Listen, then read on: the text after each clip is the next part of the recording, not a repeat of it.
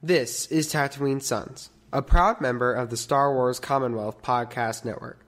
Be sure to listen to the galaxy's greatest Star Wars podcasts, including Talk Star Wars, Tumbling Sabers Podcast, Generation X Wing, Rogue Squadron Podcast, Skyhoppers Podcast, The Nerd Room, San Diego Sabers Radio Podcast, and Less Than 12 Parsecs Podcast. Visit StarWarsCommonwealth.com and take your first step into a larger world.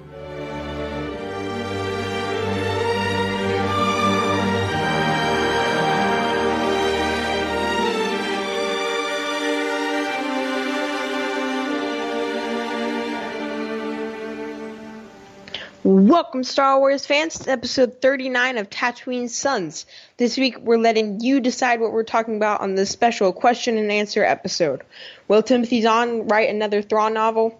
What are we hoping for from the episode 9 hype machine? And what's the deal with the unknown regions? And more. If you're saying that coming here was a bad idea, I'm starting to agree with you. It's time for Tatooine Sons. The force is strong in my family. I am your father. I am a Jedi, like my father before me.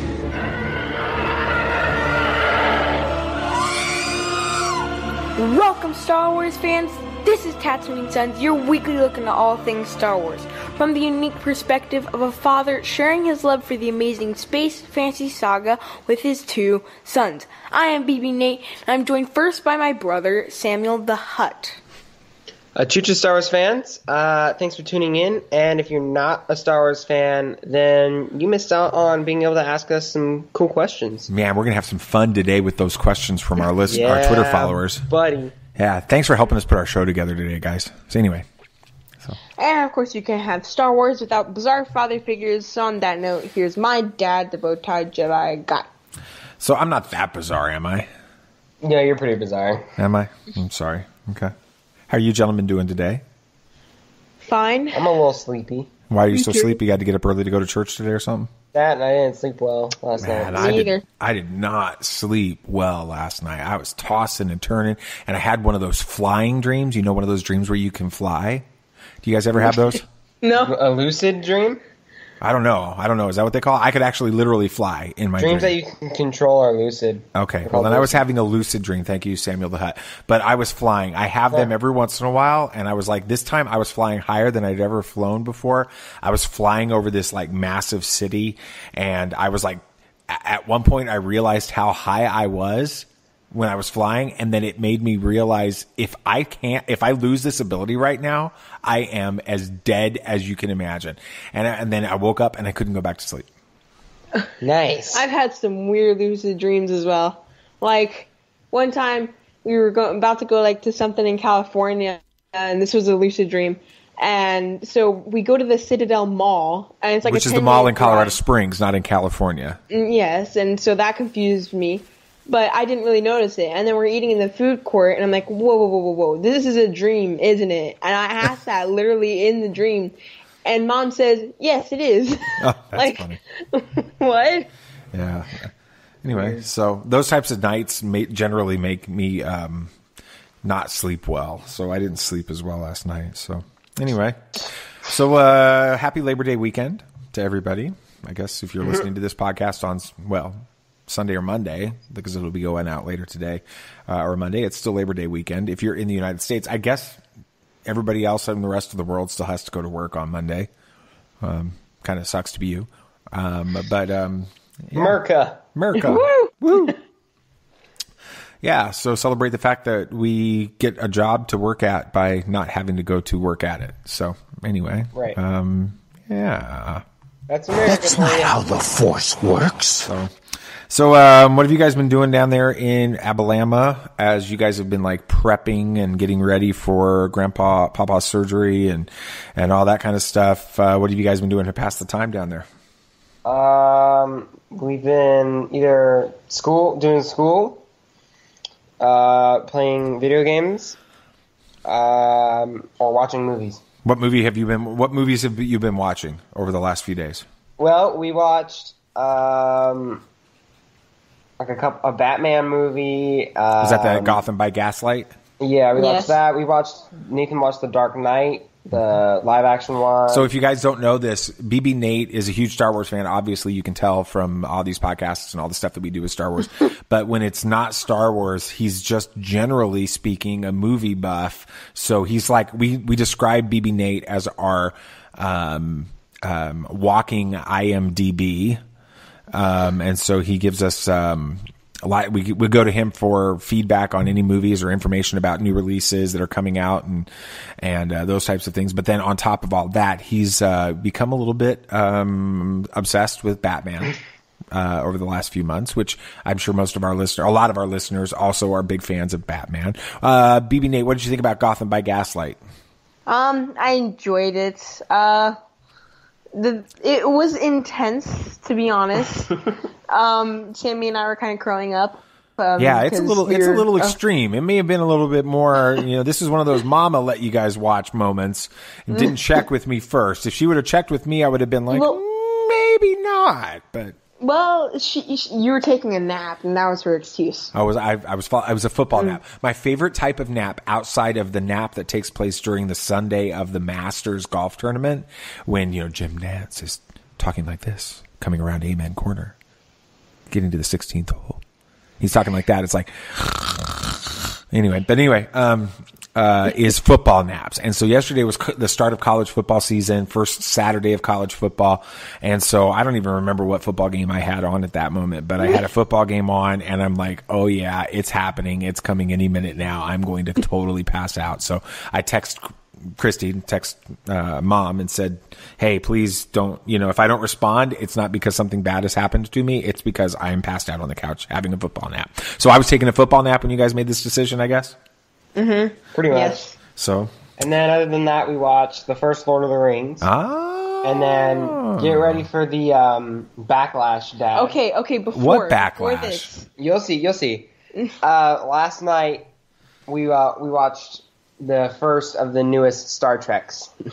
okay. So the J.J. Abrams reboot. Yeah. Okay. now, and I justified it by saying it's okay because we know there's no competition with Star Wars. you know, it's like uh, enjoying other franchises. It's I- okay. D- You know? during that movie, I, I talked more during a movie than I ever have before, and it was all making fun of the movie. That's true. We didn't make a lot of fun. It's not a bad movie. I the really sheer- like the reboot of Star. I liked the original Star Trek. It's okay. Star Trek is a fine series. It's a fine franchise. The TV series is great. Those types of things. But in What, the 16 end, it just isn't even in the same uh, galaxy, literally. Um, but but it's not even in the same like like you can't even compare it for me to Star Wars. That doesn't mean I hate on Star Trek. It doesn't mean that we think anybody else that likes Star Trek is like you know, not smart or anything. But for us, Star Wars is in a class by itself compared to Star Trek. And I think for most of our listeners, they would probably feel that same way. But I liked the uh, J.J. Abrams reboots. I liked Star Trek, uh, re- the original uh, reboot movie with Chris, Chris Pine and Zachary Quinto and um, all them. And then um, I really, really, really liked Into Darkness. I got to Yeah, be honest with you did. That was like uh, an emotional experience for me. And I absolutely hated I got a bad feeling about this. like despised with every ounce of my being Star Trek Beyond. I thought that was a absolutely lame movie and that has nothing to do with the franchise. I just think it was a terrible movie. I feel about Star Trek Beyond like the haters feel about The Last Jedi. There, I said it. All right. There we go. Oh, Oh well, Wow. it's, it, it's not like you're a Star Wars fan hating on Star Wars. You're a Star Star Wars fan hating on a Star Trek movie, which basically every other Star Wars fan has done once in their lifetime. I have you never seen a more predictable plot line in a Star Trek oh, movie. yes. than Beyond. I felt like I knew every, and then it was just like it, it, it- plot holes, and I don't know. Maybe it's just because I'm not a Star Trek fan. But here's one thing that you will note: I don't go to Twitter every day and start talking about how much I hated Star Wars Beyond. In fact, because I Trek. dis uh, Star Trek, excuse me, pardon me, Star Trek. Hold on, whoa. hold on. Impressive. Every word in that sentence was wrong. Yes, every word in that sentence was wrong. Thank you, uh, Master Grumpy Luke. Um, Star Trek Beyond. I don't go to Twitter and tell everybody why it's a terrible movie and why I hated it and how they can't be a Star Trek fan uh, if they liked it or anything. And I have Star Trek uh, friends that you know friend that that loved Beyond. Um, we just don't talk about it. It's just not that big a deal uh, to me. But anyway, so did, so you guys watched Star Trek uh, the the reboot one? Was it kind of weird seeing uh, Thor as as Captain Kirk's bit. daddy? And then there's Gamora. Gamora's in it, yeah. So it's kind of like a. Is it an MCU crossover? That's what we need to. to I, yeah. Maybe we should have a special uh, uh, uh, bonus episode where we discuss whether or not Star Trek and MC and uh, uh, the Marvel universe are actually um, So uh, so have nothing to do with Star Wars. right. It would be just an extra bonus episode. I don't think it would last Uh-huh. Yeah, that that'll long. go over I'm, well. I'm, I'm, I, I don't think I would enjoy talking, uh, uh, having an hour just talking about Star Trek. Yeah. Okay. That Maybe, you know, 15 minutes is about how long it would take probably. But, um, okay. So, and then, and then BB Nate. Now, this is a big deal that you watched The Lord of the Rings. And I know a lot of our listeners to this podcast are big, um, Lord of the Rings and Hobbit fans. So, um, it'll be fun to have this conversation as part of the, the show today. BB Nate, you just have been opposed to watching the Fellowship of the Ring or any of the Lord of the Rings movies for the last four or five years. Explain kind of uh, the process or why you feel that way and what happened as you watched Lord of the Rings this week. Okay, so why I feel that way is for one, why do you have to make a movie three hours long when you can explain it in two hours and thirty minutes? Um, that's Thirty just- minutes. Unless it's Star difference. Wars Episode 9 and they want to go four hours. Yeah, That's I'm. I'm That good with cool. that. I'm fine with that. But I and it So really that be argument is pointless. It can be slow at some points. Okay. Okay. Um, I I don't like. First of all, I don't like the two towers at one point because it just makes me sad and angry. I think it's it supposed makes to you though. sad and angry. Why? because Gollum is trying to betray Frodo's trust to Sam. I hate Oh. that part. Oh, that's that is a that is an intense kind of a emotional storyline to it.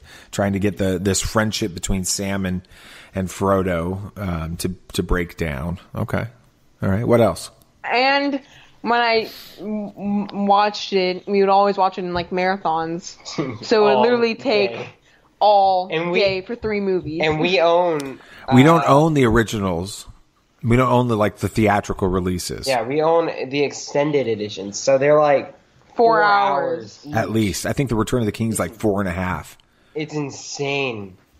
But it was funny because I was watching the movie yesterday, and I'm like, wait, they left out this scene. wait, wait, what about this whole scene? Like the part where um, whatever the the I can't remember her name, the the elf queen or whatever, Okay. was giving the gifts to all the travelers. Ah. Um, and they just showed the gift that she gave to Frodo. She didn't give, they didn't show all the other parts. And I was like, oh, I missed, I like that part. She gave the dwarf Gimli like a, lo- a single lock of her hair or something like that, and that like made him super happy and cried. And I, I don't know why, but that's what I remembered. But I was like, where's this part? Okay. Also, we saw the uh, second breakfast part that we were debating. And What do you mean? What, what do you mean? The second bre- breakfast, you know, because we were talking about the actor. Oh yeah yeah yeah yeah yeah. Uh, I forget his what's name, but he played Merry. Dominic whatever. Yeah, and he. Montague. he- That's it. Yeah. Yeah, so we saw that scene. That kind of Okay. helped clear things up a little bit. and also So really, it could I- be. It could have. Ha- it has enough of a connection to Star Wars now that it made sense for you guys to watch it. That's my opinion. Right, Yeah, that's why yeah. we kind of watched it. Um, you know? and also when I used to watch, excuse me, when I used to watch. That's high quality podcasting right there. Sorry, Hold on. Happy babies. All right, there we go. Keep we going. had a huge lunch, but um, Oh, what'd you have for lunch?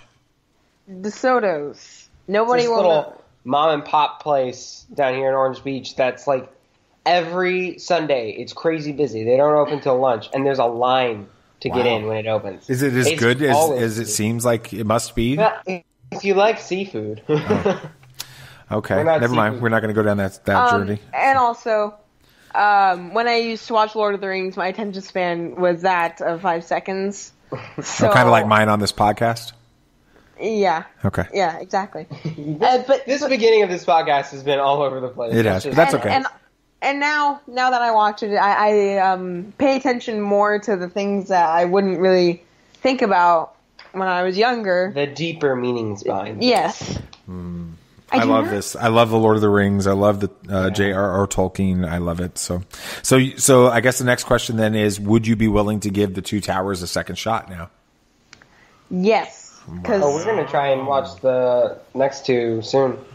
Wow. I felt a great disturbance in the force. Okay, that's surprising. Yeah. All right, so okay, very cool. All right, well, let's get into the podcast. Before we jump into it, I want to encourage everybody to go to our website, Tatooine Sons, S O N S. Dot com, tatooinesons.com. And, um, you can check out a link to our Patreon page there. We, um, exist at your, um, patronage. Um, you pay for our podcast, you pay for, uh, the podcast service, you pay for all of the different things that we're doing, uh, to get things up and running. And so your support is greatly, greatly appreciated. Thank you so much uh, for being Patreon supporters. And um, also, if you love Turbis, and if you don't know who Turbis is, just go to our podcast, start looking around. I think episode 10 is the original story. Um, where you can find out all the details of how Turbis came into being. He is um, on the road to canon, uh, canonization. Hopefully. Uh, we believe. Um, we're gonna we're gonna we're gonna put that out there. And um, yeah, so you can learn a little bit about Turbis, and you can get a make Turbis canon T-shirt, or you can get a just a traditional Turbis the Porg, which BB Nate is actually wearing a Turbis the Porg T-shirt um, right now in whatever color you want. And we also have our traditional Tatooine Sons Star Wars uh, podcast uh, t-shirts and mugs and phone cases. And we have, uh, Grammy has a Turbis the Porg pillow. Um, uh, people have bought wall art of Turbis the Porg. Um, so yeah, definitely you're, you're welcome to do that. Please do that. Uh, last thing is, um, reviews, ratings, comments, um, your, um, your ratings and reviews of our podcast is what helps other people find this podcast. So if you like um, listening to a Star Wars podcast where um, you know you could have your kids in the room and one you're not going to have to worry about what's said um, on the podcast, and two um, they might actually enjoy listening and connecting with you on Star Wars, then we encourage you to give us a rating and a review on iTunes or whatever podcast service that you use, podcast app that you use. Um, it helps other people find our podcast. The more ratings and reviews and the more consistently uh, we get them, uh, the better off. We're at 40 right now. We've got some specific goals of number to get to by Star Wars Celebration, and um, we would love for you to be a part of that. So uh, we encourage you guys to do that. So, are you guys ready to jump into the first topic? Let's do it. All right, here comes Yep. this week's podcast poll of the week. Are you brainless? I never ask that question till after I've done it. What?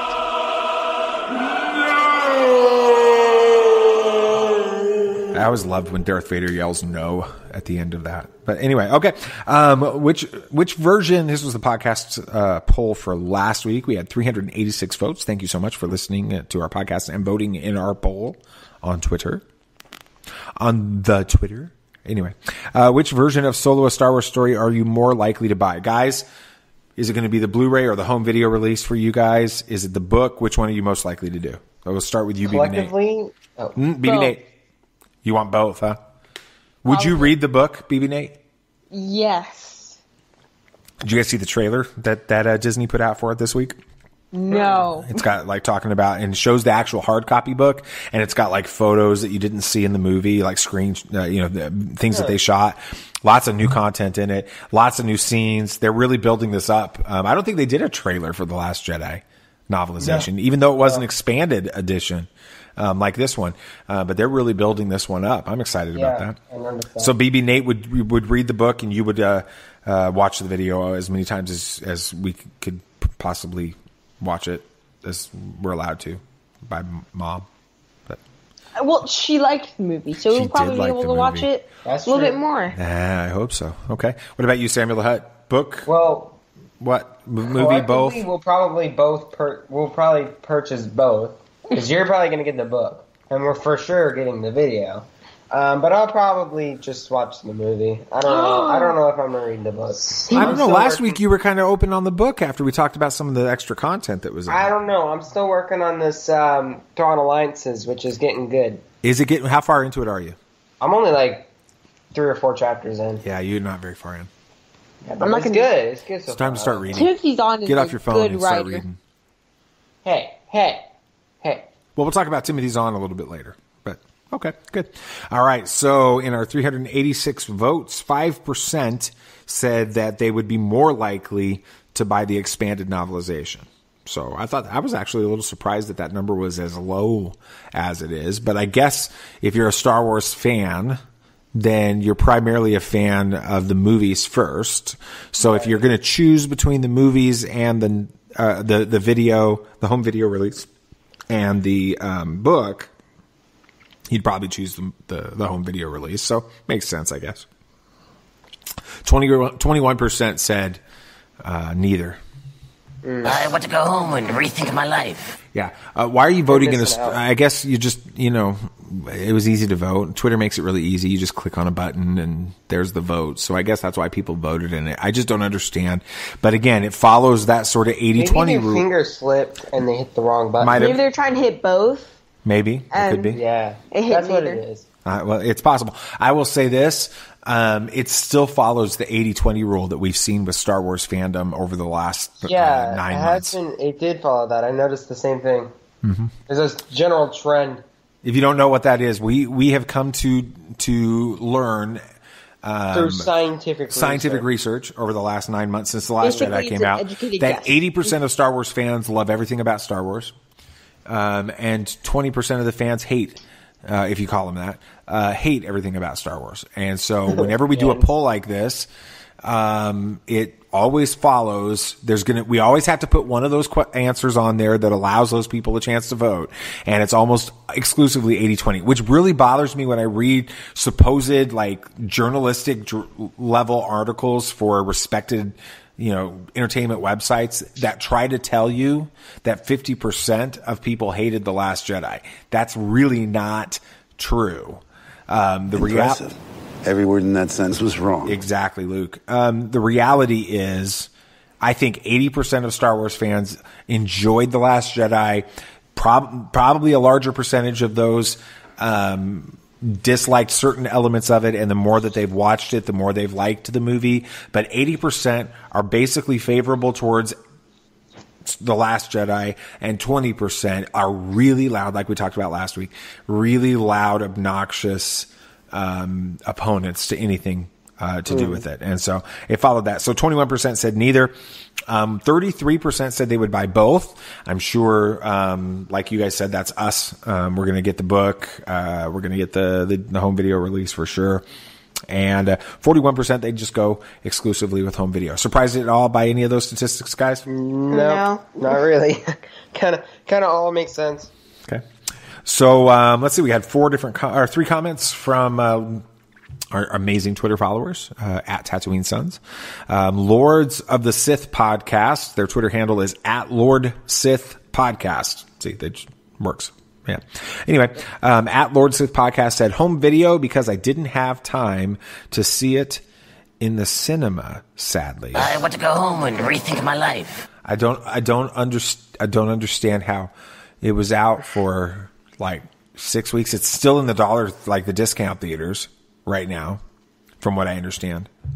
Which may be what I, my Monday m- Labor Day is going to be. Anyway, um, um, maybe not. But anyway, um, yeah, okay. Well, um, we're excited to um, to hear what you have to think about the uh, uh, the solo movie when you see it because uh, I think it's an amazing uh, movie. It's one of my It favorites. is an amazing movie. Can't wait to have it available to me to just plug in when uh, whenever uh, the Star Wars itch needs a scratching. So anyway, what? What? All right. Anyway, okay. Never You cut out there for a second, so We don't know what you're saying. what about?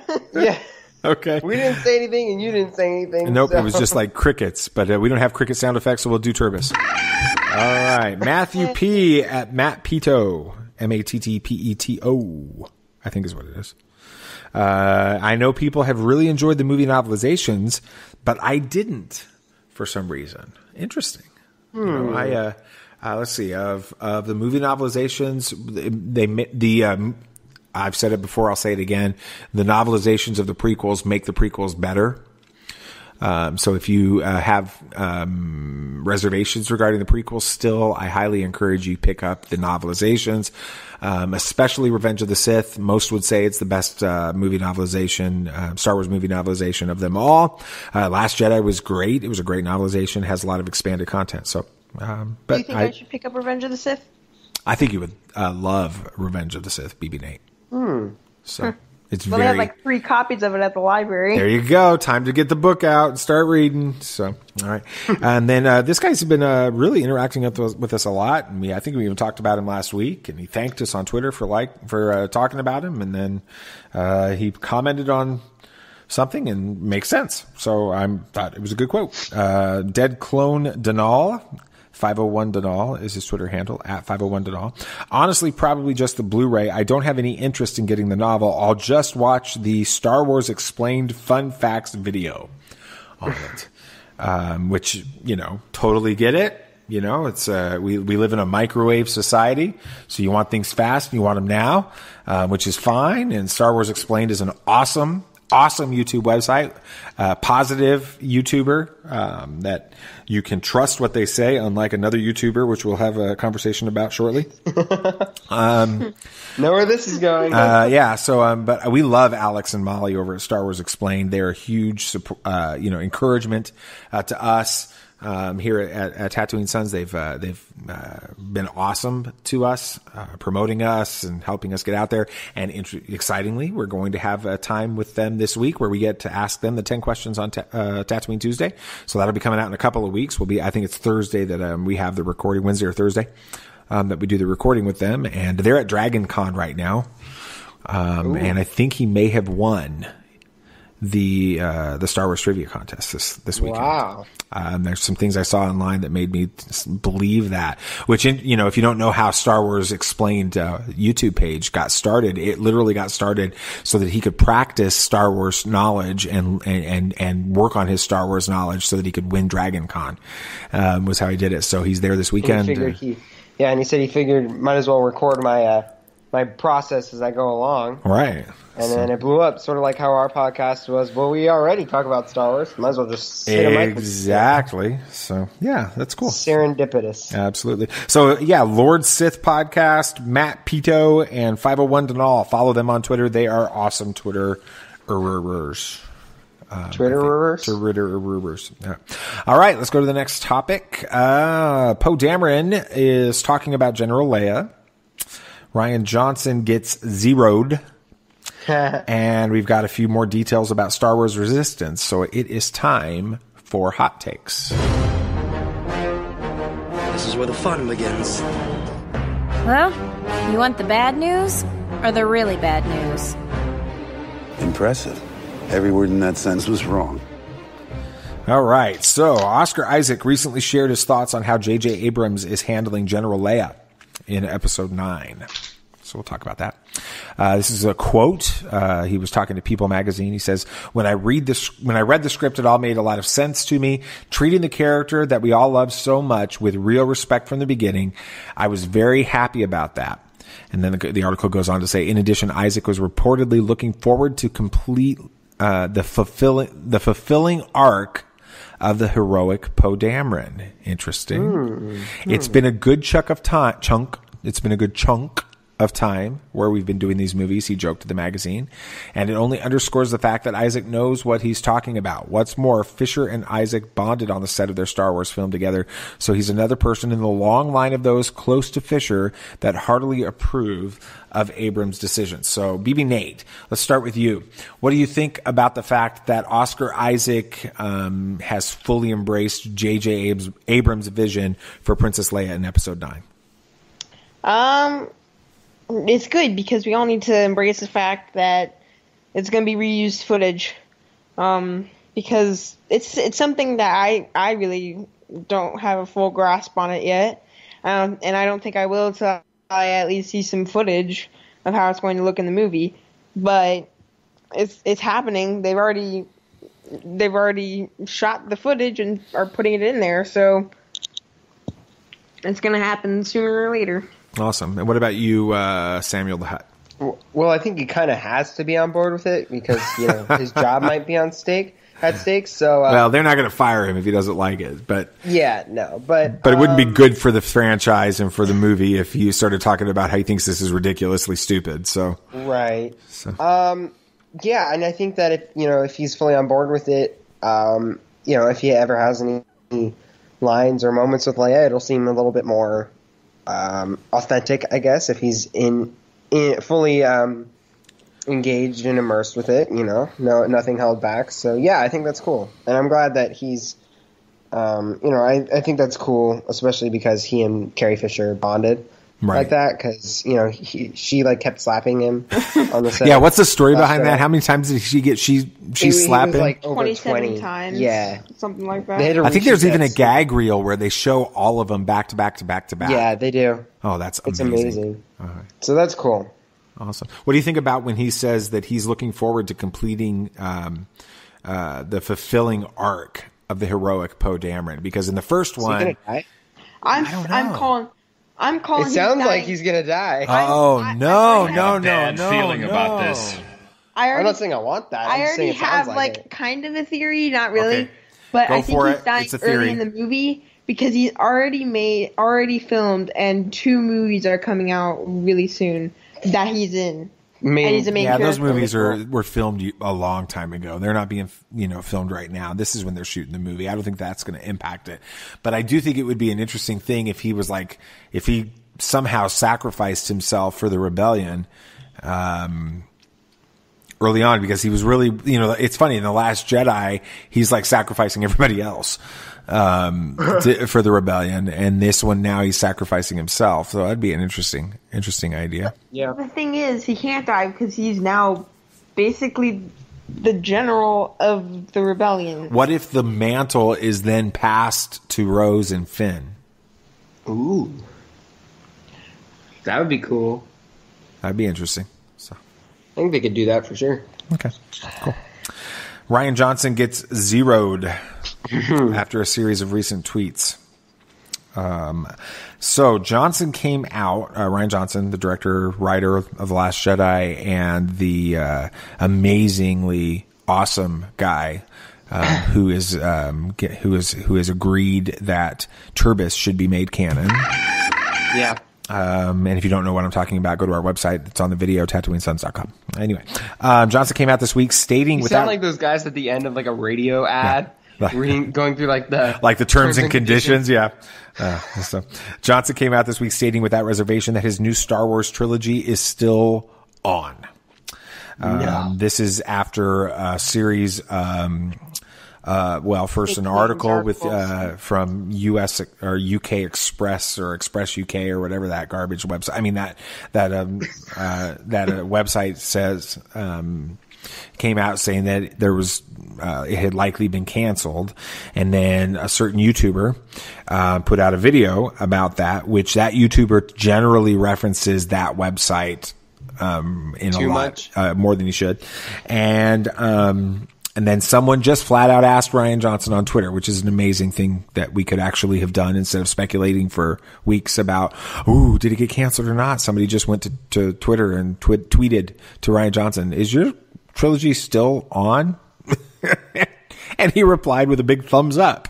Um, No, he said yep. Yep. Oh, that's what it was. Yeah, I think it was. Yeah, it was a yep. Just Okay. just one word. Yep. Yep. Exactly. Like, you know, thanks for for asking. So anyway, I think I I know what Mike Zeroh's source is. oh, we're not going to talk about Mike Zeroh yet because that's where it's coming from. Oh, okay. Excuse me. So anyway, that went out. And so then what ends up going from there is like lots of people talking about bad news and fake news on Star Wars and rumors and all this other kind of stuff. And in the series of tweets, this thread went on for quite a ways. Um, obviously, someone commented mentioning Mike Zeroh. So Mike Zeroh's got a website, or excuse me, a YouTube channel. Um, it's got lots of subscribers. It's got lots of viewers. Um, a couple, you know, a year or two ago, we would check out Mike Zeroh's stuff because you assume that when somebody's getting on there and they're they're talking about these you know rumors and some sources and stuff like that that there's some validity to it and then you start realizing Especially when he's got all those subscribers and yeah, exactly. You feel like you know maybe quantity uh, indicates quality, um, which is probably not the case um, in this situation.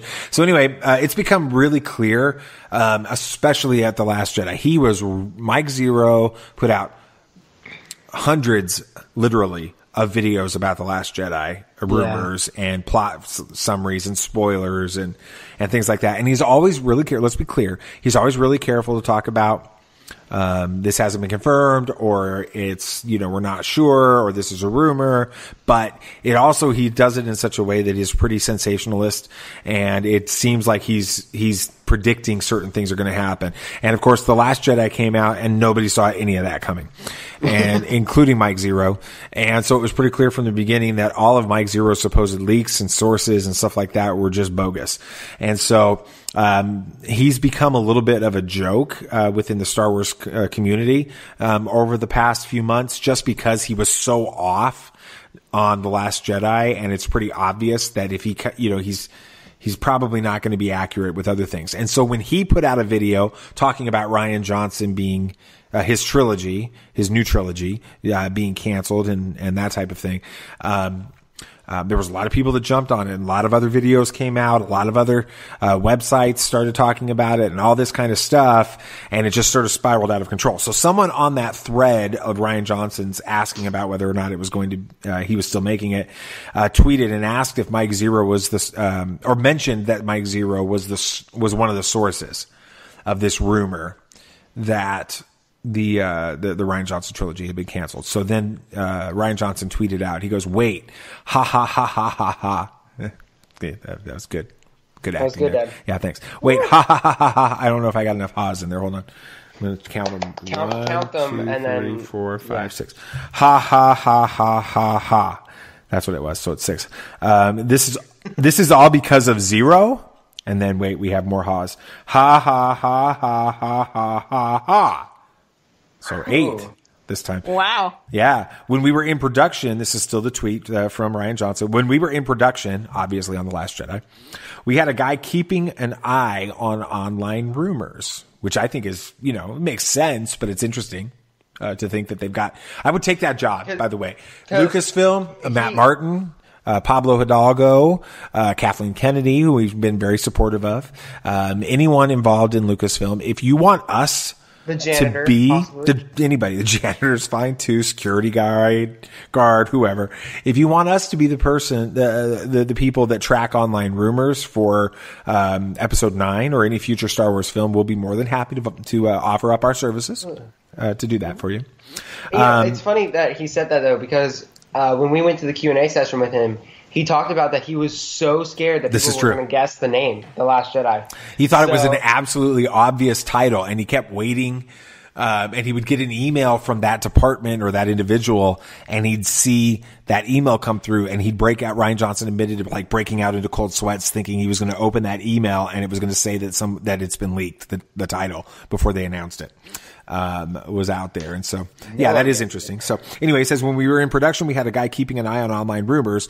At some point, we started using zero, Z E R O H, Mike Zeroh, as a verb, like. Zeroed. Right. Throws trash at basket, but it slips out of your hand and falls behind you. Zeroed it. What do you guys think about Rian Johnson? So it's like it's like when you just completely fail something. Yeah, it's like basically it's a total fail. They I'm associate use so on the set life of the. Last Jedi, at least the production crew of the Last Jedi associated Mike Zeroh as um, a, a verb indicating total failure. Um, and now I'm not saying that Mike Zeroh is not a good guy. I'm not, and I, I'm- this is not a personal attack against Zeroh. What uh, Mike Zeroh? This is this is a, a, a commentary on um, having a little bit of restraint in our rumors and our speculation. And and Mike Zeroh struggles with this in a big way. And so, what do you think? What, do you guys think about the whole exchange there? Rian Johnson's trilogy is on; it was never canceled. Love the fact that he responded to that, and then this whole Mike Zeroh thing. We'll start with you, Samuel the Hutt. Um, I think that. I mean, there there was a lot of there was even a poll on Facebook I saw asking if, you know, they that you if you thought um, Rian Johnson was okay to call out Mike Zeroh, um, and the poll was uh, funny enough actually about an 80 80-20. Yeah, percent. yeah. Uh, uh, and, and most of them are for Rian Johnson, which is cool. Um, makes you know kind of backs up Last Jedi, but I think that, that it's a little bit of um, there's fault on both sides. I think Mike Zeroh could work on um, bringing down the uh, wow or not the wow The sensationalism, the sizzle factor, yeah. yeah, on on his videos, um, and I think maybe it could have been handled in a way that seemed less like an attack on him as well, because that's not right to anyone. You shouldn't ever attack anyone for any reason. Um, although the verb's fun, I like the the verb they use for it. I'm going to use that in everyday life now. Um, but I feel like that you know on both sides there could have it could have been handled a little bit differently.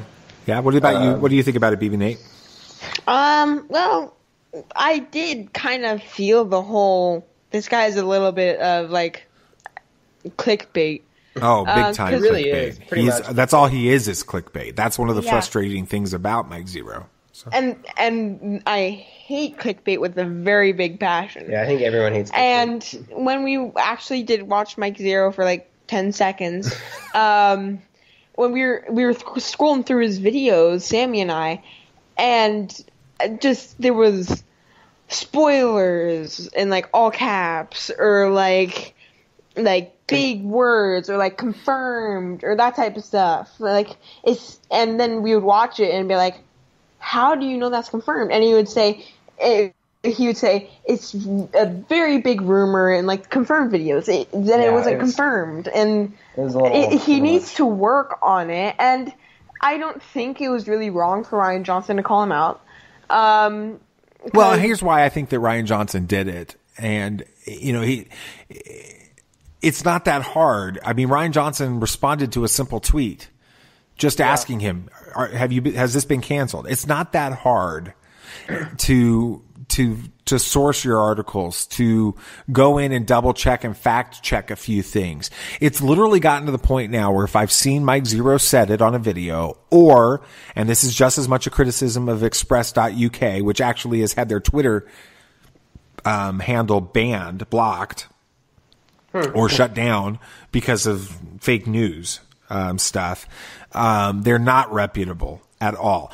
If I see them, uh, an article sourcing them, uh, for example, I saw one today um, talking about uh, episode nine, nine spoilers regarding the Emperor and Palpatine, and I'm scrolling through, you know, my Twitter feed, and I see that, and my first thought is, huh, that's a really big spoiler if the Emperor is going to be in episode nine, and then I immediately look and see the source of the article is Express.uk, and then I'm like, oh, never mind, that's a complete joke. There's no truth and validity to it at all. It's about integrity. It's about saying a rumor is a rumor, saying speculation is speculation, saying theory is theory, but don't tell people that these things are going to happen. You have a source that told you this, or you have a, you know, inside knowledge regarding this, um, unless you do. And eventually it's sort of that boy that cries wolf type situation with both that website and with Mike Zeroh.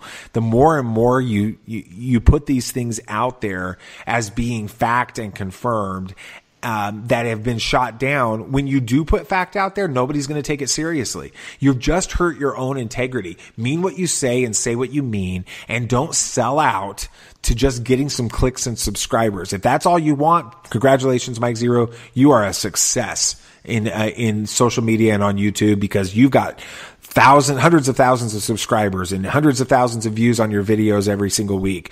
And congratulations. If that's what you want in life, go for it. But the reality is you should also have integrity. You should, you know, that's what I love about Star Wars Explained. That's what I love about Steele Saunders. That's what I love about, um, Jason Ward and, and making Star Wars and John Hoey and these guys over at, um, Star Wars Newsnet, Fantha Tracks, these other sites, they source their articles. They want Star Wars Underworld. They, and Dominic and all them. I, they, yeah, yeah. you can trust, that when they say something that there's there's something backing it up which is how all of us should live. So i think rian johnson's just sort of frustrated at this point. He's been getting beat down by um, the 20% um, for the last mm. 10 months. And people have been attacking him and they make these rumors and these stories up and finally, he just was, he had had enough of it, especially with this Mike Zeroh thing. Um, so he just decided he was going to lash out about it. Now, here I don't know if you guys know this, but he actually went through. Uh, Rian Johnson did. Um, tell me what you guys think about this. He actually went through and deleted all those tweets. Of course, everybody screen captured them already. I screen captured them myself, so we know they're out there. But he went through and deleted those tweets. What do you guys think about that?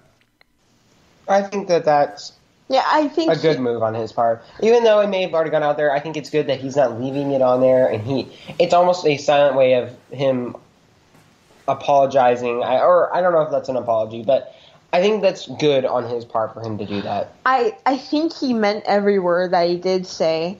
Um, Who Rian Johnson? He, yes. Yeah, absolutely. He meant, he meant everything. Um, but he took it down because he knows that it might it might affect him um, his new trilogy, Disney might. It's Disney just not. It was unnecessary. You know, there's that rule of true, necessary, and kind that I think is we this, may have talked about. Is this whole segment in your uh, dad moment? It, yeah, this whole yeah, absolutely. This Mike Zeroh segment is totally my whole dad moment. Um, I figure. With this episode, there's this idea of true, necessary, and kind. You know, and that's the filter.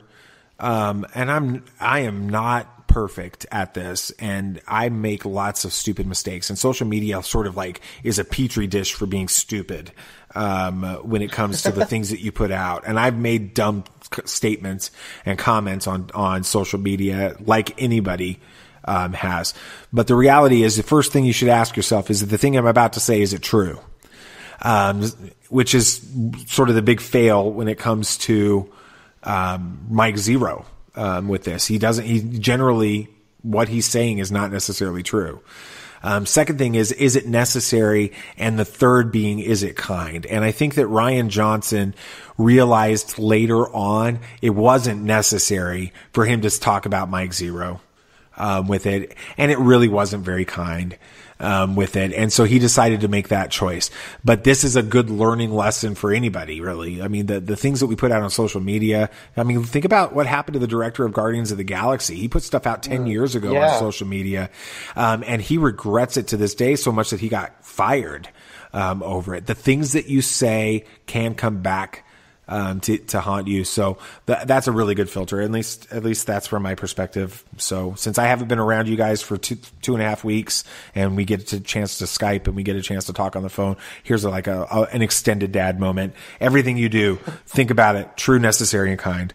Um, as far as what you say. All right. All right. Last one. And we're still in the hot take segment and we're almost 50 minutes into this. So, um, uh, StarWars.com has released a short video giving more details about Resistance, Star Wars Resistance. So, uh, the video offers some insights into the voice cast, creators bringing uh, Kaz uh, to life, um, like we mm-hmm. saw in the trailer. Plus, you also get some more details on Yeager. I always thought it was Jaeger, but I think it's yeah. Ye- I thought it was Jaeger too. It's Yeager, I guess is what the, is that the way they said it? Yeager. Yeah. Something Yeager, like something like that. It was closer to that. Tam. I think it. I think it doesn't matter either way. Yeah. You know, it's like Han and Han. Ooh, that was awesome. Yeager or now, Jaeger. Now I want to go watch Solo: A Star Wars Story again. Okay. Sorry. um, I guess I'll just have to watch The Empire Strikes Back today. Um, Star Wars. Okay, let's see. Yeah, so we we learn more about Kaz, Yeager, Tam, Neeku, and their trusty, slightly rusty astromech bucket. And uh, with all new entries in the StarWars.com databank. So we got more information on them. They're in the databank and things like that. Any surprises or anything that you liked uh, from that video, guys? Um, not for me at least. Um, I, I didn't have any surprises. Um, they had a few cool pictures that are from the series. Um, we just we didn't really we only learned about three people. We didn't really learn about Kaz. We didn't really learn about uh, ch- I forget half their names. I don't know half of their names because they only talked about three people. so, so I may get that um children's book, uh, the easy to read one about Meet the Pilot. there you go. Just go to the local Barnes and Noble and read No, it no, for just five sit minutes. there for like yeah, ten Yeah. minutes. Five minutes. And We've just never done that kind of stuff before. So, um, No. all right, Samuel the Hutt, what did you think? Were any surprises or anything in it that you really appreciated? Yeah, I mean, I just any more information on it, it's cool. Exactly. Um, I saw it within like ten minutes of it being uploaded. I was scrolling through YouTube and there's nothing to do. I'm like, oh, we got to watch this, Nate. Um, I thought it was, and you know, I don't think there was a whole lot to be learned. Uh, we saw a few pictures of this, like, I don't know if it was this or maybe the trailer, but there was this red stormtrooper pilot thing. Well, they we saw that in the trailer, and then we saw some screenshots some, some later from uh, Okay.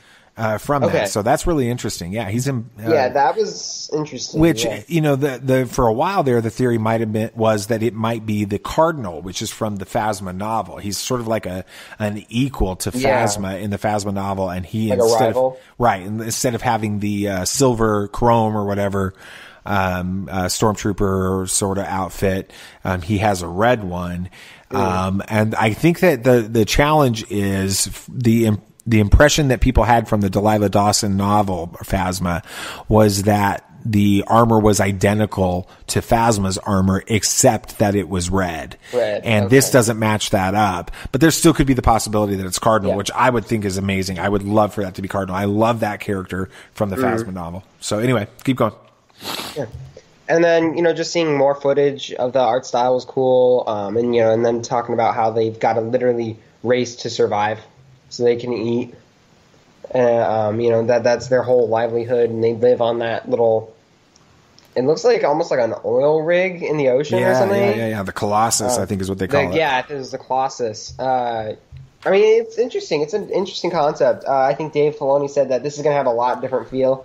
This is much more geared towards kids and stuff, and I got that vibe even more from this. Which is cool. Based on the humor and even the way the characters acted, it was Yeah. very, uh, very, very humorous. and like you guys pointed out when we when we were talking about the trailer a couple of weeks ago, um, this is Disney Channel, not Disney XD, and so it's it's going to skew to a younger audience as a result of that. So also, I did notice that it's kind of like they're all they're most of them are mechanics. Only a couple of them are pilots, and they scavenge the galaxy for parts so they can build stuff and all that stuff. And it reminds me a lot of a canonized um, version of the Freemaker Adventures. Because that's exactly what they do. They're they're good pilots. They're good racers. They have a droid. They collect stuff from out the galaxy to build parts out of, out of Huh. junk. Um, and that's not canon. I never thought of it that way. They actually like um, restore ships. They live on this giant um, thing, space station in space. Um, the only thing that's different is in this they race. The other one they don't race. I never, I never picked that up. They have an old battle droid. This one's an old astromech. Huh? That's very interesting. I didn't, I didn't make that connection, Nate. That's good. Congratulations, BB Nate. You are um, the the you are the north star that keeps our little podcast going forward. Uh, um, seriously, no, that's awesome. So, I, want to talk about how Dave Filoni seems to be like morphing into George Lucas in the way that he dresses and stuff. Did you see him on that thing with like the flannel and stuff? He's wearing a flannel shirt and he's got that big gray beard now. He's growing his beard out or whatever, and he didn't have his hat on. So then, like, I'm wondering if he's wearing the dad jeans and the white tennis shoes, um, uh, you know, down below there. Your belly too. He's It's a- like a discipleship thing, you know, the idea in like the ancient, ancient, uh, you know, And he's biblical, even becoming a little bit more hands off. right. Exactly. It's like Wow. ancient biblical history. A disciple was becoming exactly like your mentor. well, this is exactly what Dave Filoni seems to be Hey, hey, doing. I, I have a source. oh no, no, no, no, no, no, no, no, no, no, no. That's Dave not how the Filoni Force is, works. is spending more time with George Lucas because George Lucas is now in Lucasfilm, and they haven't announced that he's back in Lucasfilm. You have a source, huh? Okay. My yeah, the source source is is my the brain. your, your imagination in the middle of this podcast. So, all right, very cool. All right, so I guess you know now that we're 53, 54 minutes into our our podcast, we can get to our main topic. Um, which you know we spent a lot of time on hot to- on hot takes today. Um, there wasn't a lot more major Star Wars news beyond that. Um, so instead of our customary main topic, we went to Twitter uh, earlier this morning and we asked you what we should talk about, and you gave us some great suggestions. So here we go.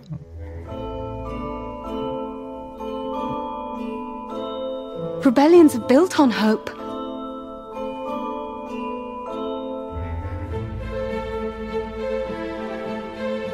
If you live long enough, you see the same eyes in different people.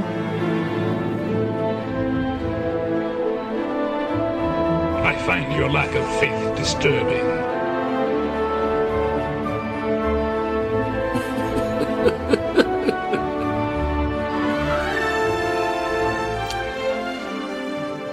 All right, so we've got five little like grab bag questions or comments or, or suggestions of things uh, to discuss uh, for our main topic today. The first one, um, of course, we're just going to go all over Twitter today uh, from our Twitter supporters here. Uh, Ray, R A E, not it's like Rae Sloane, not like Ray uh, Ken- Ray, Rey Kenobi.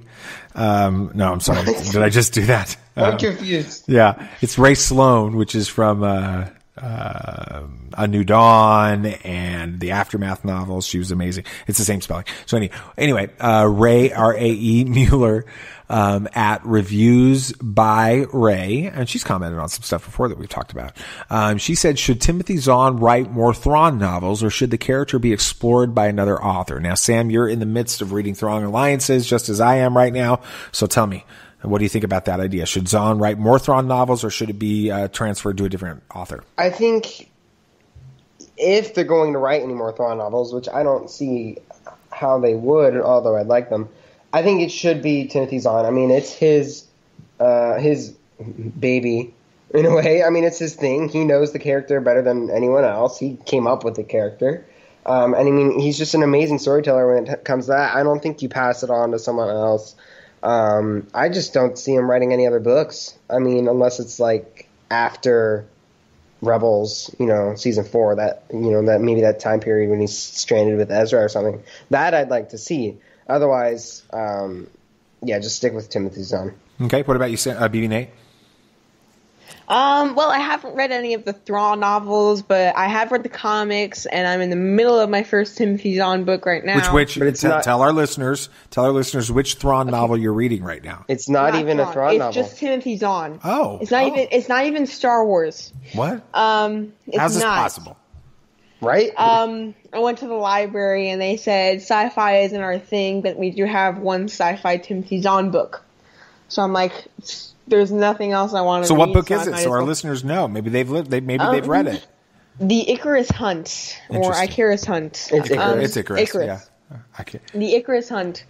Um, So anyway, and I think that, as like Sammy said, uh, Tom, Timothy Zahn is a great writer, so he should stay with making more Thrawn novels. But um, I do not think it should be explored by another author. But I really don't think they'll be making any more Thrawn novels unless they announce it at Celebration. no, Um, don't talk about that yet. We'll come. We're going to get to celebration here in a little bit. Some some new things from celebration. But anyway, Okay. Um. Well then, never mind. Okay, Dad. sorry about that. All right. Yeah. No, I think that if if anybody's going to write a Thrawn novel, it has to be Timothy Zahn. I don't think that you can transfer that over to somebody else. I think that Thrawn could be written into other novels as a secondary, um, or even here's a big word, tertiary, uh, third level, Tertiary? tertiary. Yeah. Uh, then what's four? uh, quad. I, I don't know. Um, just make. just gonna make it up. We're gonna just zeroed it. Quaternary? I just zeroed that. Um, anyway, um, yeah. So I, I think that he could be written into other stories. Um, as a character, but if it's going to be the primary character is is Thrawn, it has to be Timothy Zahn. I do think that there's plans to bring out Thrawn with the Ezra thing after we get to um, some of the um, uh, things that happened after the Battle of Endor when we saw teased at the end of season four of, of Rebels, at the conclusion of Rebels. So I think that's a big part of it. Okay. Uh, our good old friend Dead Clone Denal, 50, 501 Denal. Two shout outs and one. Two shout outs in one episode. Wow. Awesome. Uh, he says uh, he wants us to talk about areas the new canon should explore more and or potential book, comic, video game story ideas. So, uh, BB Nate, what are some of the things in canon that they should go into greater detail on, maybe in games, books, comics, you know, novels, that kind of thing? Um, I I really don't know, uh, to be honest. But I think that they should bring in. Um, we saw how much people liked new Legends characters with the blow up of Thrawn. Right. They. I really want to see Star Killer. I was gonna say the same so thing. bad. Yeah, but you can't have Star Killer unless they like named the base after him because he was such a big deal. No, you just call him Galen Marek. Okay, so Yeah. you just call him Galen. Okay. Yeah. Yeah. And they don't have to have the same story. I just really want him to be brought into canon. He was cool. He was cool. He was powerful, and he was a semi good guy. He was a he was an anti-hero. Exa- yes. Okay. He, Yeah, I was I was pretty much going to say the same thing. Um, but I mean, since you said that, I, I don't know. I think they should go further into, um, like the criminal underworld stuff. Um, You're a big been Boba Fett, rumors- um, bounty hunter things yeah, guy. I, so I've always been, you know, I've always liked that. I've always liked seeing what like a um, normal day for a normal or semi-normal person in Star Wars would be. But, You know, not a Jedi or a soldier. You know, some dude which is just- why Rogue One is sort of fun. You know. yeah. Is, but I'm talking even less than that. You know, just some dude on Coruscant making his you know way up the food chain or whatever. Um, I want to see more more of that. Um, and there's been rumors that it might be a TV show. So maybe we could get like a. Star Wars sitcom. It'd be like the Cosby Show. I mean, not that you know, but but but make it like set on Coruscant. The Skywalkers. Um, the- yeah, you know, keeping up with the Sky. Wait, no, that no, that doesn't work. Okay, um, so I Real um, it was funny last week. The Real um, Housewives of Coruscant. That's it. The Real Housewives of of, of Coruscant. I, I think, I think it's it's. I heard a rumor that was confirmed by. Never mind. Um, Express.co.uk. By Nathan's UK. brain. yeah, express.co.uk. That's it. Yeah. Um, okay. I, um, last weekend after we finished our podcast, I, I, uh, did a marathon of the prequels. So I watched Phantom Menace, Attack of the Clones, and Revenge of the Sith back to back to back, which was awesome, by the way. Um, a lot of fun.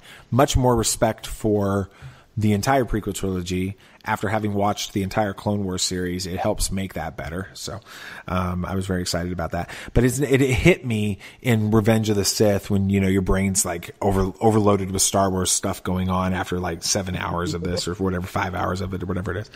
Um, it hit me that when we saw Revenge of the Sith, uh, Grievous had no backstory, um, and we knew nothing about him, and he was killed in that movie. And then it also hit me that when we saw Phantom Menace, we had no backstory for Qui Gon Jinn. Um, he was just all of a sudden he was there, and they killed him off in the first movie, and that was the end of it. And we had no backstory for uh, Darth Maul. He was just there, and we killed him off, and that was the end of it. And until you know the, later on when we got him in the Clone Wars and stuff like that. But the point I'm making is like Tarkin was the same way with these characters. They were big, you know, huge, important, critical characters to the movies that they were in, but they sort of just We're there. there and died. devices. And we know, and nobody flipped out. Like that was such a waste. I, I actually tweeted every single one of those characters out in a separate tweet, and I was like, "They Grievous is such a wasted character. They killed him off after one movie. We got never got any backstory for him. Uh, what a what a ridiculous thing to do." Right, and then I tweeted the same thing about Maul and about Tarkin and about Qui Gon Jinn and all these. And this is a this is a joke on on Twitter on Snoke, right? Well, yeah, exactly. Like the prologue So, so it was Okay. funny because um, I tweeted them all out separate tweets, and for the last week, I've gotten hundreds of responses from people and they're like, no, we got backstory on Grievous. Didn't you watch the Clone Wars? And they'd go into this big long diatribe about that. Or they'd be like, what are you talking about? We know we got backstory on Qui-Gon Jinn. And, or they, what are you talking about? We got a whole Tarkin novel. Or what are you talking about? We got, um, um, Darth Maul is in, you know, he's been in Rebels. He was in Clone Wars. They did comic books on him.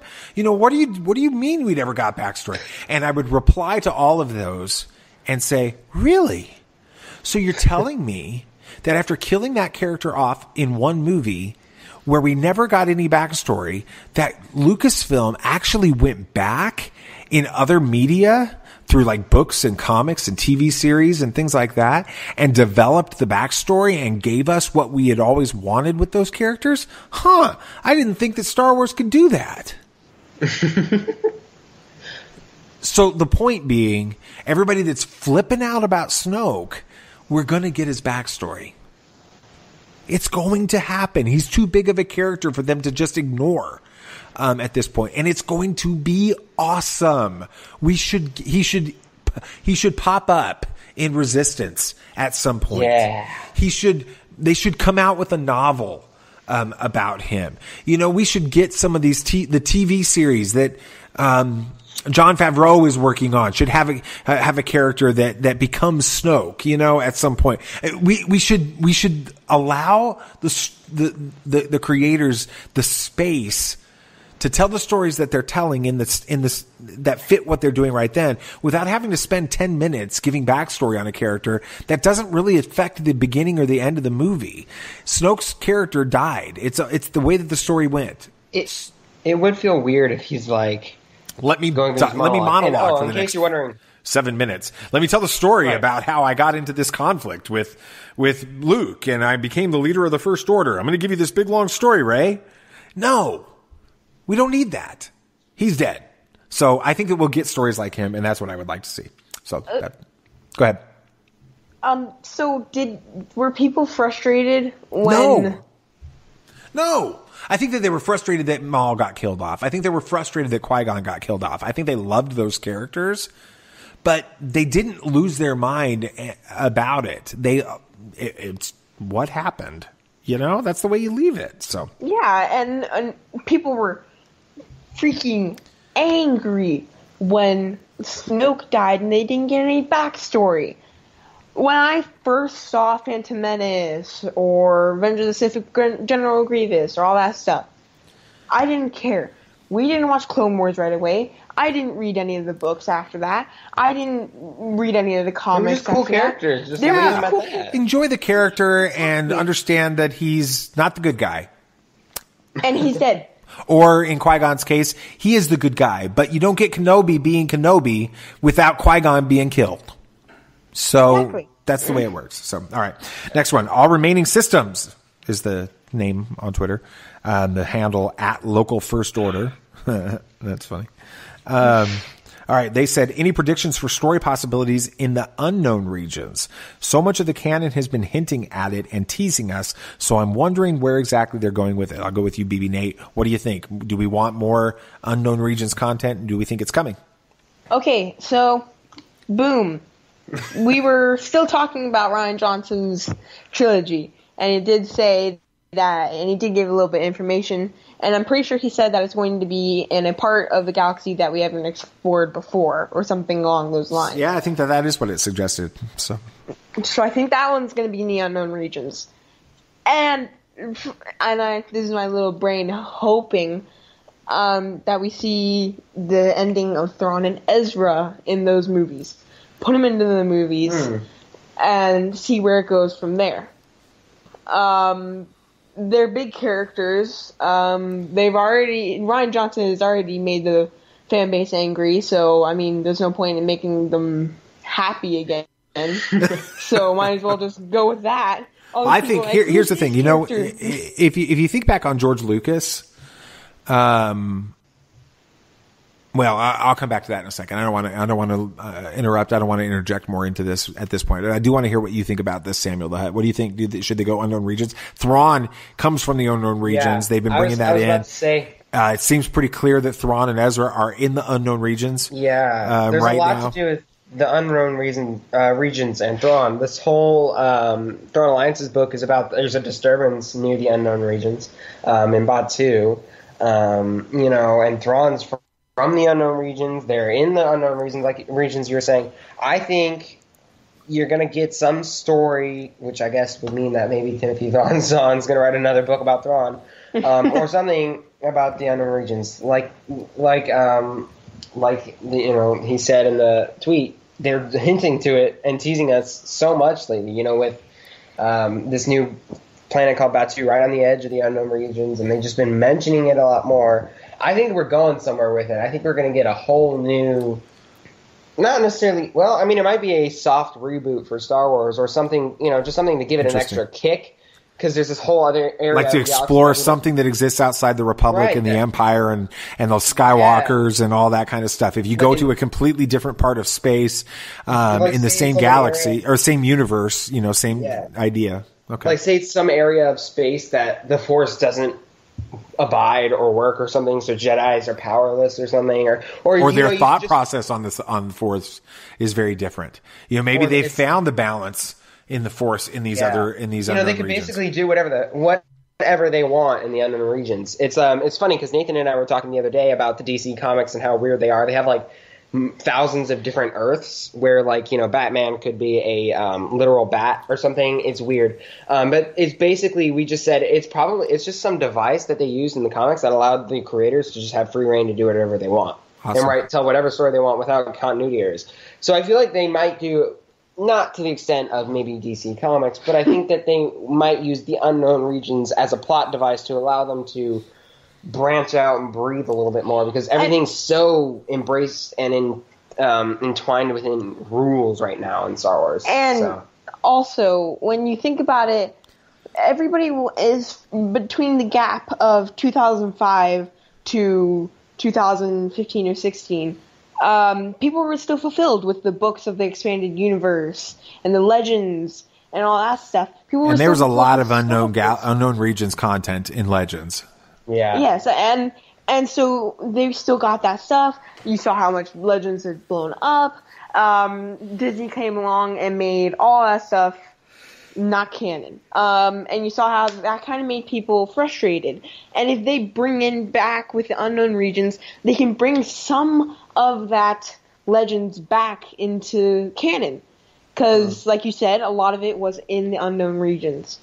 Um, You know, and it's interesting too because even Chuck Wendig's uh, trilogy of books that came out, I think one of them came out before the uh, the Force Awakens, and then the rest came out after. Um, the aftermath novels, um, which take place immediately following the events of uh, Return of the Jedi and the Battle of Endor, leading up to the Battle of Jakku. The Unknown Regions is a major plot point in that as well. That's where the empire goes off. The you know the contingency uh, that the empire that, that the emperor puts in place that we see in the uh, um, in the uh, uh, single player Battlefront 2. Yeah, the, the campaign mode. That's it of, of Battlefront 2 with Iden Versio and all that. Um, that contingency that's in place is that um, he's going to weed out the weaknesses of the empire and put and and and call together sort of like a uh, the strongest will survive element, and then send those um, survivors of the empire that into the unknown regions. And he's been planning this. The emperor has. And so they're in the unknown regions, and this is what the First Order comes from. Even the Bloodline novels references the unknown regions, and so um, it's obvious that they've got a bigger plan for the unknown regions that's that's just not been fully fleshed out or at least revealed um, to us. It's kind of like you know Darth Maul in in uh, uh, Phantom Menace when he says, you know, at last we will reveal ourselves to the Jedi. It's that moment when it happens. Everybody's gonna, I think, gonna go, oh that all makes sense now. I think it's all going to come together at that Mm. point. And Snoke is a big part of that. Snoke comes from the unknown regions, folks. I Mm. promise you that the backstory of Snoke is part of that. So, anyway, all right. Patrick Covey uh, at Gannon136. I love Patrick. He's awesome. And uh, if you're listening to this, Patrick, I want to encourage you to restart that radical idea that you were having, uh, talking about on Twitter about uh, Star Wars podcasting that you think is like a really revolutionary, different type of a show. We encourage you to step it up. I'm excited about that. Anyway, um, the hype build up to episode nine is what he wants us to talk about. Uh, what promotional material would you like to see at Celebration in the months before episode nine? What merchandise are you most looking forward to? And then there's an interesting uh, final like little tag onto that. Should Force Friday come back again? So I'm gonna have you go first, Samuel the Hutt. So, um, at Celebration, well, obviously the trailer. Trailer's coming out. They're gonna have a So, episode nine panel So I'm already going to be pretty pretty satisfied from that. Um, I want more news on the um, new Clone Wars series. Um, I want more. Well, we'll already have we'll already have like a full season of Resistance. Well, yeah, it's so- specifically asking about like what do you want to see in the, Yeah, as far as the the hype for episode nine. Okay, yeah. yeah. So, a trailer, um, poster, but they usually release that then.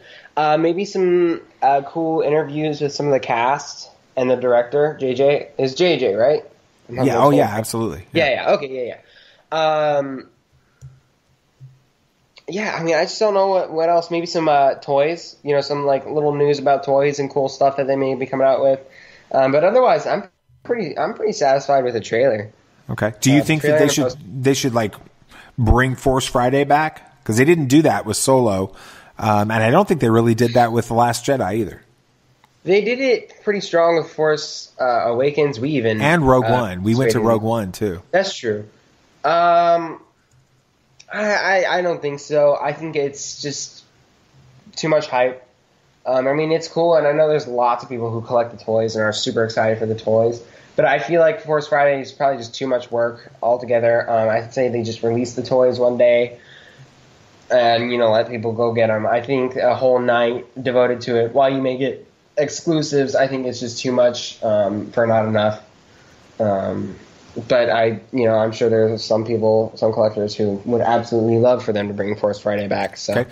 What about you, BB Nate? What do you think about like the hype machine for Episode Nine? What do you think should uh, you'd like to see happen with that? Um, at Celebration, like Sammy said, I do want to see a trailer.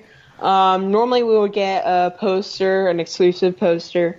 Um, that's what happened last time. so- Kind of like the one that we've got for the Last Jedi that's signed by Rian Johnson. yeah, that one. Yeah, that's awesome. Yes. Like, Um, and I mean, go big or go home. I hope they show us a private screening of episode nine. oh, 10. you're crazy in the head. And then and then and then they make us sign an affidavit before, so we don't tell Never anybody. gonna happen. And every everything before it. So they like funnel people. So they make so they like let the person sign it. They let them go through. So there's like times and segments so that people have chance to pick out their seats. It isn't all Oh, flooding into one yeah. spot. You're living So in have to take Fantasy time to sign it out. Island, uh, my friend. Uh, that That's is not happening, Nate. That's happening. That's not how It's the Force happen. works. Is that why they, Having- they were so um, there were so little tickets this time? Yeah, exactly. Oh, is that it? Yeah. yeah. And and also they haven't done that with the celebration before. So I mean, and, and it's the last episode in the Skywalker saga. It's the 20th anniversary of Star Wars. and it would get leaked so fast. Th- All the content in it would be leaked so fast that it would be disastrous. It's mm. not. But what would going you to happen happen. is they would make you go through a scanner when you're going in, so that they make sure that you have no metal or any items like that. Yeah, but what's the stop? You, but you'll get you. Somebody could go out and call up Mike Zeroh and tell Mike Zeroh, "Hey, this is what happens in episode nine," and he would do a video on it. And the next thing you know, it's over. So, not going to happen. That's one of Let's those see that. predictions sure to go wrong. Yeah, it's uh, but hey, it's fun. So, so what about Force Friday, Oh, Force BB Friday. Nate? Yeah, what do you think um, about that? Force Friday. Um, last episode in the Skywalker saga, they've done it for all the sequels. Last episode in the sequel, I think they will bring it back. Did Um, they do I it for the Last Jedi it. though? I don't think they did. Really? Hmm. I'm pretty sure they did though. I thought they did. Okay, maybe they Yeah. Because I remember we were talking about going one time, and you said we couldn't because we had something the next day. did. Ah, oh yeah, Yeah, maybe that's that's true. Okay. Um, so I think they'll have it. Um, um, I don't know if we would go to it, uh, but I mean, it is the last episode. We may just not go and just get our sleep. Yeah. But I think the challenge with Force Friday, yeah, I think the challenge with Force Friday at this point is that it's the same challenge that we're finding with all of retail is people just don't go to the store to buy stuff anymore. I mean, you can buy it on Amazon, you can buy it online. Um, it, it, why would I go at midnight? I mean, they're going to have to have like really, really intense exclusives that can only be purchased at Force Friday. But then the challenge, excuse me, is when they're out, you've gone for nothing. Um, so then you're just buying the yeah. same stuff that you're going to buy on Amazon.com. So I think that's been the, the, the, the, challenge with it. They would have to do it really big and with a lot of exclusives and a lot of special things that you can get only at Force Friday for it to be really worth the time. Collectible uh, Turbus the Porg Funko Pops. If they announce Turbis the Porg uh, um, memorabilia and toys and collectibles at Force Friday, uh, then we're definitely going. Um, uh, they'll probably like reach out to us at that point, though. But if no, they did, gonna, yeah, no, at the episode just be like panel, they're gonna announce terms. Oh, is that it? Episode oh, nine my panel. Gosh, I'm not living. In. If something comes out at celebration about Turbus the Porg, I will pee myself. I will be sitting there in my inflatable Jabba the Hutt costume, and I will pee myself. no one will be able to tell because exactly, and it'll dry out nice and fast in there. Too. Got a little fan blowing in there anyway, and, right? And it'll even add. I'm sure it smells like pee too, so it'll add to the. Um... all right, all right. So I got one more for you. This was exclusively for BB Nate. Are you ready, BB Nate? Okay. Oh yes. Our our our biggest supporter, biggest fan, um, Mr. Positivity himself, who's going to his first Star Wars celebration in the U.S. Uh, in Chicago in, in April, and we are so excited to get to hang out with Neil uh, Neil Lowry. Uh, he wants to know: Will Turbus the Porg save Episode Nine? I, I want him to, and I and I came up with the news story and everything about how he's going to do it. So wait, wait, gonna... wait, wait, wait, hold it, hold on. Spoiler alert. This is going to happen. Credible sources. Yes, credible sources have told me this. Yeah, the, the voices in Nathan's uh, BB Nate's brain. No, no, no. No, it's express.co.uk. You gotta get that right down. gotta get it right. All right, go. Um, so during the movie, we're gonna see, and, and, he's a cute little thing, and then Rey's gonna walk by and say, "Hi, Turbus," and now already be cool by itself. Um, and then we're gonna see everybody's on on the break, and everybody's gonna almost die, and then Turbus the Porg is just gonna go out and pull out a lightsaber, put on a giant Jedi cloak, and turn into a giant monster and super buff giant monster, and just it's like Hulk. He's gonna be yeah, like Porg the Hulk. Yes, the Incredible the Porg. the Incredible Porg, and then he's just gonna tear through the First Order and get to Kylo Ren and say, and then scream in his face, and then throw him in jail. Oh, okay. I was so I had my own little headcanon with that. I was like, I liked where yours was going. It was going good. Till he turned into a giant monster. I like that one though. Like, you like the giant monster? I, I love it. I love it. Okay. Can. I try my, my little headcanon? All right, here? you go for it, buddy. Okay. So, you know, he's just gonna it's gonna be the end of the movie, and like he said, there's gonna be all hope is lost. Um, and then you're all of a sudden, you know, Turbus is going to kind of waddle off into this side closet or whatever, and then walk back out with this little tiny Jedi robe. Um, and so he's still little in this version. Yeah, he's still okay. a little cute porg. It's like Yoda. Um, and then you know, as he's walking out, we figure out he can speak, and he's like, um, "Rey, I'm your dad." And then oh, he God. goes. okay. And then going. he goes and has a one-on-one confrontation with uh, Kylo Ren, and uh, has like this just like huge thirty-minute battle that spans across like five planets or something. Um, and you know it's this epic battle, and everyone else is just kind of you know popping popcorn and watching it happen. Um, and then you know he defeats Kylo, um, perfectly by you know cutting him in half, so maybe he can come back later. And um, and then you know that's the end of the story, and then you know Rey and uh, Turbus go play catch somewhere. And and and I'll go add on to that and like it's gonna be super special effective. It's gonna be explosions oh, yeah. where explosions yeah. shouldn't be. Um, and, and then, lots of lens flares. This is J.J. Abrams yeah, lens, flares, lens, flares, like beyond the beyond even Star then, Trek, right? And then they're gonna go like they're gonna they're gonna like they're using the force to go through space. Oh. And then they go so fast that they head to hyperspace and they're fighting. And in one scene, hyperspace. they're going to be in the unknown regions, and you're going to see uh, Thrawn and Ezra drinking milkshakes.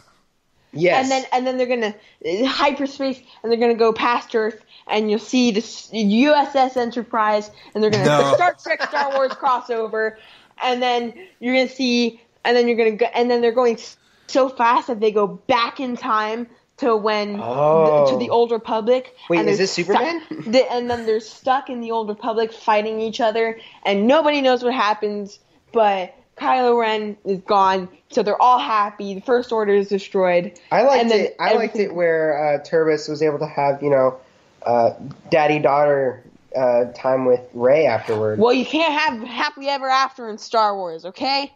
All Never right. happened.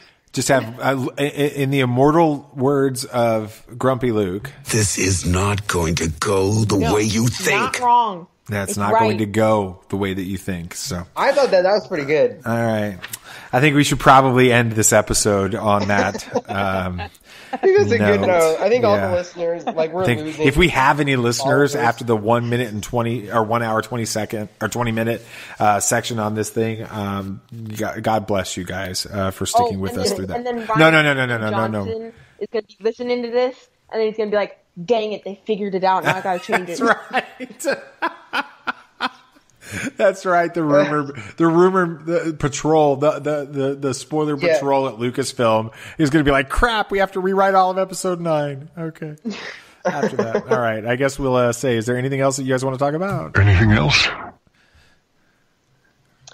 Um, well, C3PO built a spy network of droids that discovered Starkiller Base. What?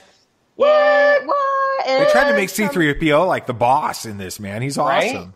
And, and apparently, So this is in some Poe Dameron, right? It's in the comic book that just came out, right? I didn't know that because I haven't been keeping it up with it. The to be honest, but apparently, That's that's All interesting. right. All right, Sam. Uh, Domhnall uh, Gleeson regrets reading the episode nine script. What? because he's like that turbo support thing is too cool. Now I'm gonna have to give it away. He's not gonna be able to sleep for weeks because of like how awesome Turbis is. yeah, Well, here's Yeah, actually the, what what he said. He said Oh. that he read it and now he's like like super paranoid that he's going to let something slip. Yeah, he's gonna Um, let. uh, let ex- the yeah, no, no, no, no, no. slip. So, uh, so he's like talking. He says, "I have nightmares that I'm on an airplane and I fall asleep and I start talking in my sleep, and uh, I wake up, um, and there's somebody sitting next to me with a notepad writing down everything that I say, and I'm like, It's Mike Zeroh. I'm t- exactly. I'm like, I'm gonna have to to to like empty my bank account and make a deal to to give him every dollar I've ever earned uh, as soon as we land in order to keep that uh, to keep, to buy their silence and and all that. So that's I I, I think it sounds like it's going to be an amazing movie again. So. I'm excited Yeah. about that. Um, of course, Matt Smith, uh, who played Doctor Who, he's one of the most popular uh, Doctor Who uh, actors. Because I guess you know we'll just be real honest. We don't watch Doctor Who uh, in this family. We're not Whovians or whatever they are. Um, uh, but but um, There's apparently like I- multiple. yeah, like they it like passes on from one doctor to the next. Now there's like some lady doctor um, with it, so that's like it was a big deal um, with it. But anyway, Matt Smith was a really popular guy that played uh, Doctor Who.